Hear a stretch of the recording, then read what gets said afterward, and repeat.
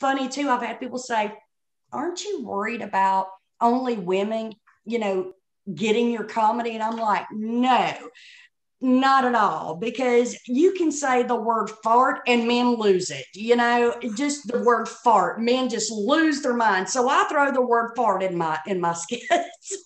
Yeah, that's um, true. But I'm just myself, and I have always been, you know, quirky and nutty.